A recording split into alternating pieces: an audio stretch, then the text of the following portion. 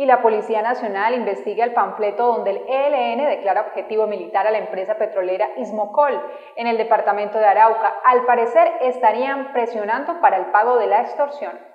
La Policía Nacional con su grupo de inteligencia realizan las respectivas investigaciones para verificar si el panfleto del ELN, donde declaran objetivo militar una empresa petrolera en el departamento de Arauca, es real o no. Nosotros con nuestros grupos de de inteligencia y de policía judicial estamos verificando la veracidad de este panfleto que circula más por redes sociales, pero que ha llegado a, varios ciudadanos.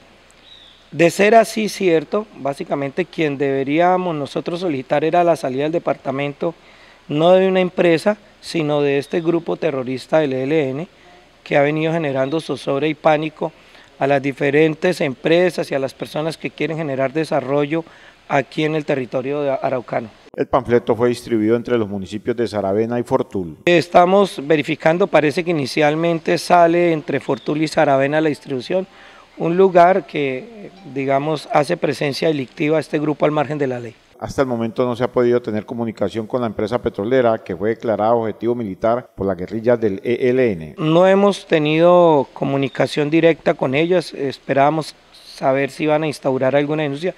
Creo que ellos están haciendo una evaluación interna de, de cómo está la situación de la empresa. Al parecer sería una forma de presión de la guerrilla del ELN para que cancelen alguna suma de dinero. Es posible que sea uno de los mecanismos que ellos utilicen para generar temor a la empresa, buscar presión para que puedan recibir algún dinero producto de extorsión que ellos generan. De otro lado, el alto oficial se refirió a las muertes violentas que se han presentado en los últimos días en el departamento de Arauca. Se nos han presentado unas muertes violentas, una entre Fortulo y la vereda La Esmeralda, fue allá un cuerpo sin vida, aproximadamente 20 a 27 años de edad.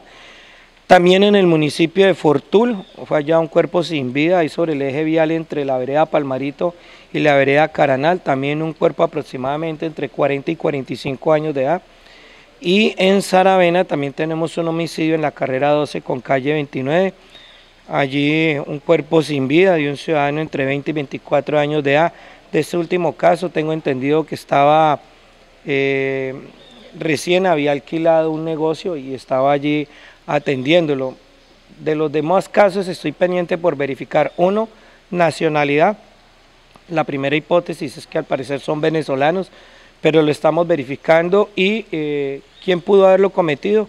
Lo que tradicionalmente nosotros encontramos es que alrededor de eso están siempre grupos al margen de la ley, pero estamos por establecerlo. Al parecer estas personas son asesinadas por retalaciones por parte de los grupos al margen de la ley que delinquen en el departamento de Arauca.